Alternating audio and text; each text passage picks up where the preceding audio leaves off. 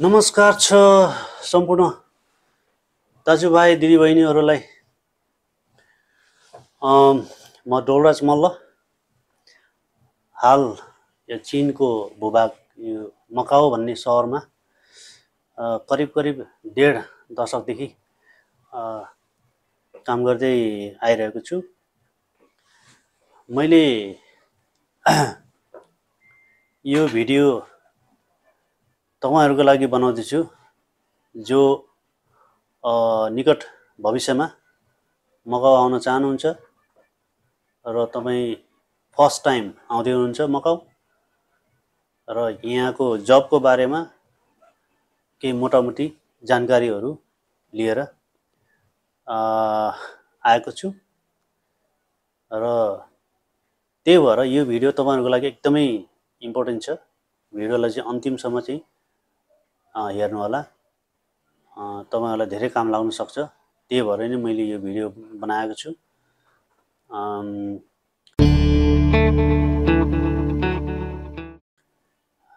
सबभन्दा पहिला कृपया चाहिँ सब्सक्राइब गर्नु होला है। सब्सक्राइब गर्नु होला लाइक बटनमा हानिदिइ हानिदिइहाल्नु होइन किन ढिलो गर्ने? त्यसपछि अब प्राय तपाईँहरू सबैलाई चाहिँ अब अहिलेको जमानामा यो मकाउ हङकङ कहाँ हो भन्ने चाहिँ सबैलाई थाहा छ प्राय होइन? तैपनि अब आफू पर्सनल्ली त्यहाँ जानु र अब चाहिँ सन् सामाजिक सञ्जालमा हेर्नु अब यताउति भनेको अलिकति केही केही फरक त भइहाल्छ। त्यही भएर यदि निकट भविष्यमा मकाउ आउँदै हुनुहुन्छ भने किनभने अहिले अब अहिले यहाँको सरकारले जुन कोभिड नाइन्टिनको प्रोटोकललाई पनि अब हटाएको छ अहिले अब संसारभरको मान्छेलाई चाहिँ यहाँ खुल्ला गरेको छ यहाँ आउनुको लागि। त्यही भएर अब अहिले कता कता यो सामाजिक सञ्जालमा अब सुनिन्छ अब नेपालबाट पनि अब फेरि अझै अब यहाँको कामको लागि होटल क्यासिनो अनि अरू अरू कम्पनीहरूमा आउँदैछ भन्ने अब सुनिन्छ त्यही भएर मैले त्यही भएर तपाईँहरूको लागि भनेर यो भिडियो बनाएको छु। र तपाईँहरूले चाहिँ पुरै हेर्नु होला यो भिडियो। तपाईँहरूलाई काम लाग्न सक्छ। है सबभन्दा मेन मैले भन्न खोजेको किन भन्दाखेरि अहिले अहिलेसम्म मैले थाहा पाएसम्म नेपाली दाजुभाइ दिदीबहिनीहरू दलाल मार्फत धेरै ठगिएको छ धेरै दुःख पाएको छ धेरै पैसा चाहिँ चाहिँ अब गुमाउनु परेको छ होइन? दुःख पाएको छ त्यही भएर यदि मकाउ आउँदै हुनुहुन्छ भने कृपया त्यस्तो व्यक्तिबाट कुनै अब व्यक्तिबाट एउटा त्यो कुनै एउटा सरकारबाट मान्यता प्राप्त म्यान पावर नभए पनि व्यक्तिबाट चाहिँ तपाईँलाई प्रलोभन देखाएर यस्तो छ जागिर यस्तो छ यति तलब हुन्छ होइन यस्तो हुन्छ ल भनेर त्यो त्यस्तो प्रलोभन देखाएर तपाईँलाई चाहिँ यहाँ ल्याउँछु कसैले भन्छ भने। त्यो चाहिँ नगर्नु होला है एकदम। त्यो चाहिँ कदापि नगर्नु। तपाईँहरूले एकदमै पछुताउनु पर्नेछ। एकदम पछुताउनु पर्नेछ त्यो चाहिँ कुनै व्यक्तिले त्यस्तो भनेर चाहिँ कहिले पनि नगर्नु।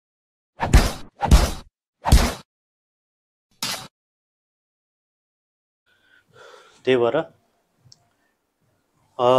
तपाईँहरू त्यो चाहिँ फन्दामा चाहिँ नफसिनु होला। सरकारबाट मान्यता प्राप्त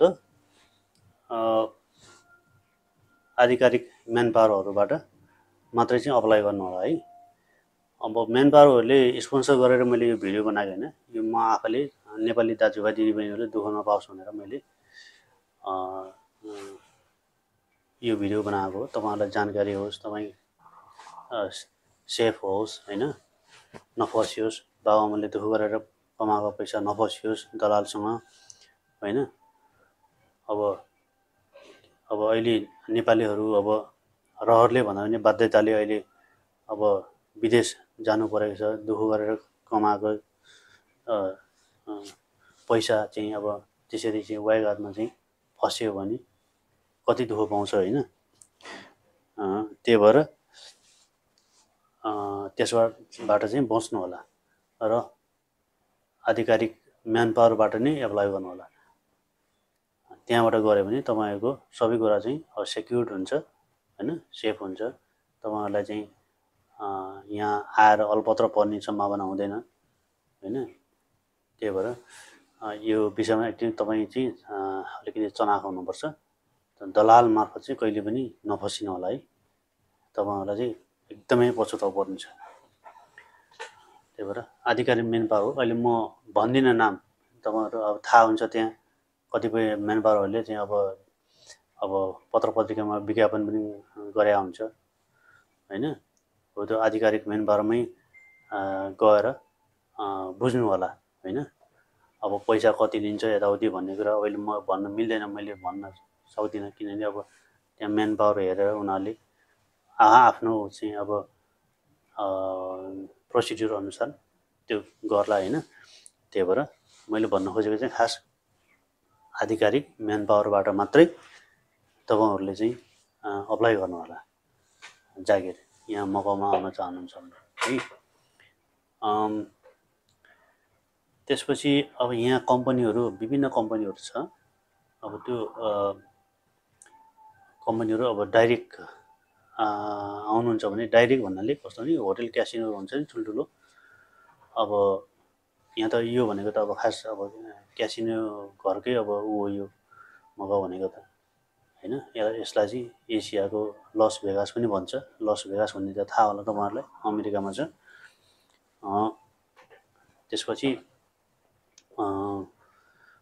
यदि डाइरेक्ट आउनुभयो भने जस्तै होटल क्यासिनोहरूमा डाइरेक्ट डाइरेक्ट आउनुभयो भने तपाईँहरूलाई सेवा सुविधाहरू मेडिकलहरू इन्सुरेन्स सबै कुरा चाहिँ त्यहाँ छुट्टै छ फरक छ।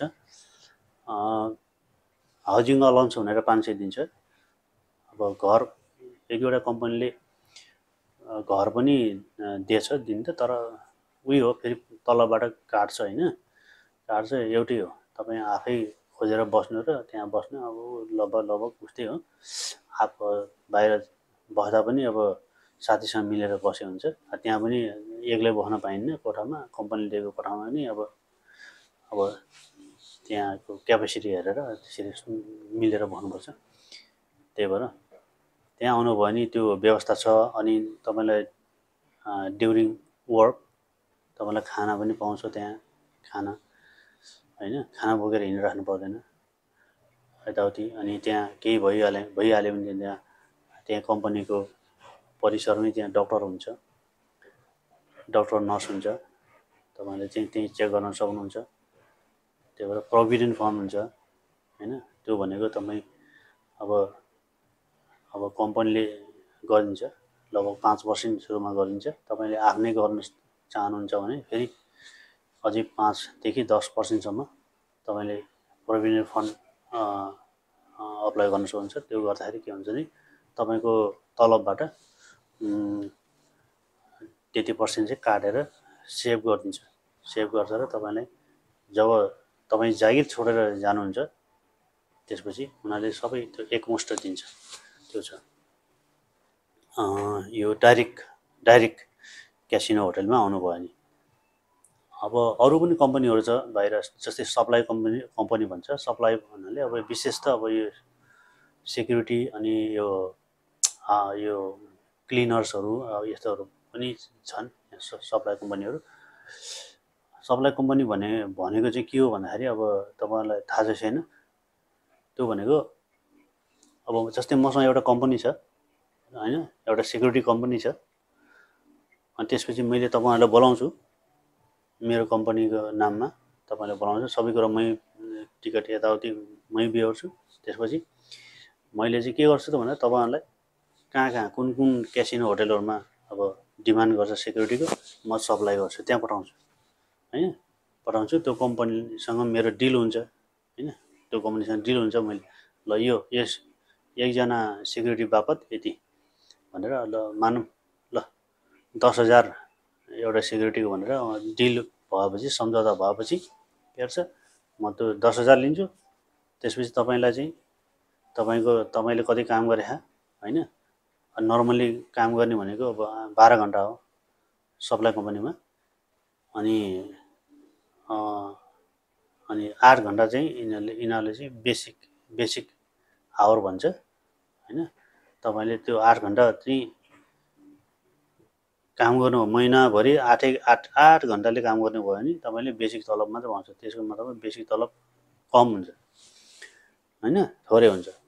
अनि त्यसपछि तपाईँले चाहिँ छुट्टै अब बाह्र घन्टा पुऱ्याउनलाई चार घन्टा चार घन्टा थप्नु पऱ्यो त तपाईँले चार घन्टा थपेर बाह्र बाह्र घन्टा महिनाभरि महिनामा लगभग भनौँ न छब्बिस दिन तपाईँले काम गर्नुभयो भने तपाईँले बल्ल तपाईँले आशा गरेको एक्सपेक्ट गरेको चाहिँ तलब तपाईँले पाउनुहुन्छ। र सप्लाई कम्पनीमा काम गरे पैसा पाउनुहुन्छ काम नगरे पैसा पाउनुहुन्न है? र मेडिकल पनि छैन। बस यताउति पनि हुँदैन। अब त्यस्तै अर्जेन्ट पऱ्यो भने अब कम्पनीबाट एउटा सानसानो गाडीहरूले तपाईँहरूलाई चाहिँ अब ड्युटी के अरे गर्ने ठाउँमा पुर्याइन्छ नत्र अरू खास केही पनि छैन। केही पनि हुँदैन। र यो डाइरेक्टमा आउँदाखेरि डाइरेक्ट कम्पनीमा चाहिँ त्यहाँ सटल बस चाहिँ स्टाफको लागि भनेर सटल बस हुन्छ। तपाईँले यो मगाउभरि ठाउँ ठाउँमा स्टेसन हुन्छ। त्यहाँ तपाईँहरूको तपाईँको पाए पर्ने स्टेसनमा तपाईँ गएर बस चढ्न सक्नुहुन्छ अनि अनि फेरि घर जाँदा पनि फेरि त्यहीँ छोडिदिन्छ। होइन? तपाईँ कुन ठाउँमा जाने हो कुन कहाँ नजिक पर्छ त्यहाँ त्यो कम्पनीले व्यवस्था गरेको हुन्छ त्यो। त्यति फरक छ है सप्लाई र उसमा। त्यही भएर तपाईँहरूले चाहिँ यो कुरा चाहिँ अलिकति जानिराख्यो भने तपाईँलाई अलिकति सजिलो पनि हुन्छ हल्का हुन्छ होइन। किनभने अब यो यस्तो कुराहरू प्रायः अब भन्दैन कसैले पनि होइन? नभन्न सक्छ। वास्तविक कुरो त यो हो नि त होइन? अर्को कुरा तपाईँहरू मकाउमा आउँदाखेरि एकदम होसियार हुनुपर्ने एउटा विषय छ डकुमेन्ट डकुमेन्टमा चाहिँ तपाईँहरू कहिले पनि हेल्थ चेक नै नगर्नु होला है।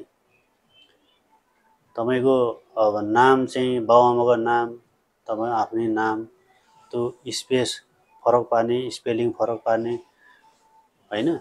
तपाईँ अब अनि पासपोर्टमा अर्कै अब अर्को के अरे उसमा बर्थ सर्टिफिकेटमा अर्कै त्यस्तो भयो भने तपाईँहरूको पछि एकदमै झमेला हुन्छ यहाँ। डकुमेन्टलाई चाहिँ एकदम सिरियसली लिन्छ है यहाँ। त्यही भएर अब तपाईँको अब मानौँ बाउको नाम अब बुवाको नाम ल मानौँ के अरे राम काजी श्रेष्ठ भनौँ न छ रहेछ खास उहाँको चाहिँ नायकतामा यताउति। तर तपाईँले चाहिँ कुनै एउटा डकुमेन्ट बनाउँदाखेरि यहाँ ल्याउने डकुमेन्ट बनाउँदाखेरि तपाईँको उसको त्यो राम काजी चाहिँ एकै ठाउँमा जोडियो। होइन? पहिला स्पेस थियो ठाउँमा जोडियो भने अनि पछि तपाईँको यहाँ चाहिँ अब कहिलेकाहीँ के हुन्छ भन्दाखेरि अब पहिला एउटा डकुमेन्ट पहिले बनाइसकेको हुन्छ। अनि त्यो ओरिजिनल नाममा अनि अर्को कुनै डकुमेन्टमा त्यस्तै उल्टोपाल्टो पऱ्यो भने र त्यो दुवै डकुमेन्टहरू यहीँ परेर अनि पछि हेर्दाखेरि यो के भयो भनेर त्यहाँबाट यस्तो चाहिँ झ्याउ गर्छ यहाँ यस्तो चाहिँ दुःख दिन्छ। फेरि फेरि वडा कार्यालयबाट तपाईँलाई सिफारिस बनाएर परराष्ट्र मन्त्रालयमा गएर छाप हानेर के के गरेर दुनियाँभर एकदमै दुःख पाउँछ। त्यही भएर तपाईँहरू यो नाम चाहिँ डकुमेन्टमा चाहिँ एकदमै क्लियर हुनुहोस् है। डकुमेन्टमा कहीँ कतै मिस्टेक हुनु हुँदैन। ए डेट अफ बर्थमा र अर्को कुरा यहाँ आउँदाखेरि तपाईँहरूले कहिले पनि नक्कली सर्टिफिकेट बनाएर नआउनु होला एकदम एकदम जरुरी छ है यो कुरा। ल मानौँ तपाईँहरू तपाईँ अब सेक्युरिटीमै आउनु आउँदै हुनुहुन्छ तर तपाईँको अनुभव छैन उहाँ सेक्युरिटी गरेको तर तपाईँले सेक्युरिटी कता कता के के बनाएर अब होइन पैसा तिरेर बनाएर अब नक्कली बनाउनु भयो एक दुई वर्ष काम गरेको होइन? र पछि आउनु त आउनुभयो ल मानौँ नेपालमा पत्ता लगाउनु सकेन। अनि यहाँ आएर पछि यहाँ आएर पत्ता लगायो भने तपाईँलाई चाहिँ उत उतिखेर फर्काइदिइहाल्छ। त्यही भएर त्यस्तो चाहिँ काम नगर्नु। बरु ट्रेनिङ गर्नु। तपाईँ कुन कुन चाहिँ विभागमा आउँदै हुनुहुन्छ ट्रेनिङ गर्नुहोस् होइन? अहिले ट्रेनिङ सेन्टरहरू टन्नै छ नेपालमा नि। ट्रेनिङ गर्नुहोस् सकेसम्म त्यसरी आउनुहोस्।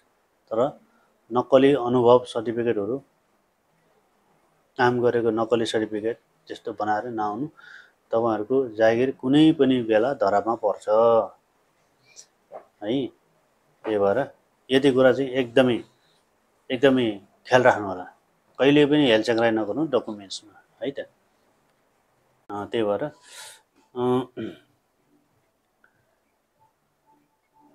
अरू कुरा चाहिँ के भन्दाखेरि अब यहाँको भाषा यहाँको भाषा भनेको मेन भनेको क्यान्टोनिज हो।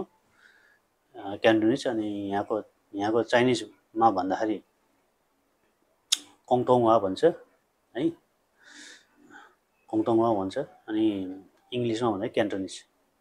अब तपाईँहरूले हल्का फुल्का त्यहाँ त्यहीँ अब ल्याङ्ग्वेज उसमा चाहिँ इन्स्टिच्युटमा सिक्नु भएको छ भने अलिअलि केही जान्नुहुन्छ भने तपाईँलाई त्यो अझै सजिलो हुन्छ। नत्र भने यहाँ आएर सिक् सिक्नु भए पनि हुन्छ। किनभने अब यहाँ आएपछि काम काम गर्ने इन्भाइरोमेन्टमा अब यहाँ लोकल साथीहरूसँग काम गर्नुपर्ने हुन्छ के हुन्छ होइन आफैले चाहिँ सिक सिक्दै गरे पनि हुन्छ। अहिले अब मोबाइल एपहरूमा पनि अब सिक्न सकिन्छ होइन? यस्तो धेरै सुविधाहरू सुविधाहरू भएको छ अहिलेको यो टेक्नोलोजीले त्यही भएर मेन भनेको त्यो अँ, क्यान्टोनिज सेकेन्डमा चाहिँ मन्डारिन मन्डारिन भनेको अब पोतुङ्वा भन्छ होइन? सेकेन्डमा चाहिँ तपाईँले त्यो जान्नुभयो भने त्यो किनभने त्यो भनेको त्यो एउटा होल चाइनामा प चाइनिजहरूले बोल्ने भाषा हो त्यो राष्ट्रिय भाषा। क्यान्टोनिस भनेको सिर्फ यो यो चाइनाको चिनको यो ग्वाङदोङ ग्वाङदोङ प्रान्त भन्छ। ग्वाङदोङ प्रान्तमा बस्ने मान्छेहरू यो क्यान्टोनिस बोल्छ। है क्यान्टोनिस बोल्छ। यहाँ कतिपय यहाँ यहाँको पुरानो लोकल लोकलहरू अब क्यान्टोनिस मात्रै बोल्छ। त्यो पारीको मन्डारिन पनि बोल्न आउँदैन अलिअलि। त्यस्तो पनि अब कयौँ भेटेँ मैले। र अहिलेको जेनेरेसनहरू प्रायः जसो चाइनिज अँ, मन्डारिन बोल्छ अनि उनी बोल्छ के अरे इङ्ग्लिस पनि बोल्छ। र पुरानो जेनेरेसनहरूको बोल्दैन प्रायः यो के अरे इङ्ग्लिस चाहिँ। तर इङ्ग्लिस किनभने यो भनेको अब इन्टरनेसनल ल्याङ्ग्वेज भएको भएर तपाईँहरू इङ्ग्लिसमा अलिकति अलिकति केही नै अलिकति अगाडि नै हुनुपर्छ है। किनभने अब यहाँ तपाईँ विदेशमा आएर अब चाइनिज त बोल्ने कुरा भएन। अब माध्यम त हुनु पऱ्यो नि एउटा। अब हामी नेपाली बोलेर चाहिँ यहाँको हुँदैन। होइन? त्यही भएर यहाँ एउटा माध्यम भनेको इङ्ग्लिस हो। इङ्ग्लिस इङ्ग्लिस जानेपछि के हुन्छ? अब अरू कोही साथीहरूले भयो भने त मैले भन्नु खोजेको यो भनेर इङ्ग्लिसमा भन्नु भयो भने तपाईँले चाहिँ उसले चाहिँ ट्रान्सलेट गरिन्छ चाइनिजमा होइन? अब नेपाली भयो नेपाली नेपाली भयो त ठिकै छ। नेपालीमा ल मैले यसो भन्न खोजेको चाइनिजमा भनिदिनु त के हो? भनेर उसले भनिदियो अब त्यो यहाँ नेपाली भएन भने त इङ्ग्लिस बोल्नेलाई भन्नु पऱ्यो सोध्नु पऱ्यो होइन? त्यही भएर English is is the most important. त्यसपछि अब यहाँको मौसमको कुरा गर्ने भने मौसम भनेको लगभग लगभग नेपालको जस्तै हो। होइन? अहिले विन्टर चलिरहेको छ तपाईँहरू अब यही अब यो जनवरी फेब्रुअरीभित्र अब तपाईँ तपाईँहरू आउँदै हुनुहुन्छ भने ज्याकेट चाहिँ नभुल्नु होला। ज्याकेट चाहिँ चाहिन्छ विन्टर ज्याकेट ल्याउनु होला। है न यहाँ चाहिँ अब यस्तो भुइँचालो अर्थक्वेक यस्तो चाहिँ आउँदैन प्रायः। एकचोटि मैले अनुभव गरेको थिएँ एकदम एकदम छोटो एकदम हल्का थोरै हल्ला थियो। मेरो साथीहरूले पनि मलाई सोधेको थियो यस्तो यस्तो हो फिल भयो मलाई भन् भन्थ्यो। अनि मैले हो मैले नि हो भने। नत्र भने त्यो आउँदैन। अब हावाहुरी आउँछ एकदम। त्यसलाई भन्छ यहाँ टाइफुन भन्छ। टाइफुनको यहाँ नम्बर अनुसार कतिसम्म कतिसम्मको पावरफुल कतिसम्मको होइन त्यो छ भनेर त्यो नम्बर अनुसार हुन्छ। त्यो पहिले यहाँको यो मौसम विभागले उनीहरूले उनीहरूले अब पहिले थाहा पाउँछ पहिले सूचना दिन्छ। सजग रहनु भनेर टाइफुन भन्छ। वर्षमा लगभग तिन चार चार पाँचचोटि आएकै हुन्छ। र अर्को कुरा चाहिँ के भन्दाखेरि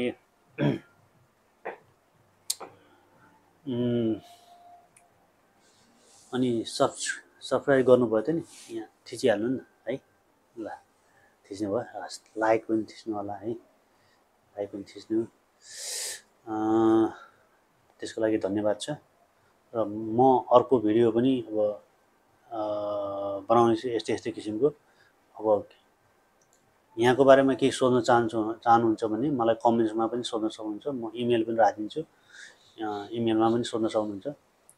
त्यसपछि त्यही अनुसारको म भिडियो बनाउन प्रयास गर्नेछु तपाईँहरूको लागि भनेर। भन्दै अब अहिलेलाई यो भिडियो चाहिँ म अन्त गर्न चाहन्छु है। आफ्नो राम्रो ख्याल राख्नु होला। अ, हस् त नमस्ते। है।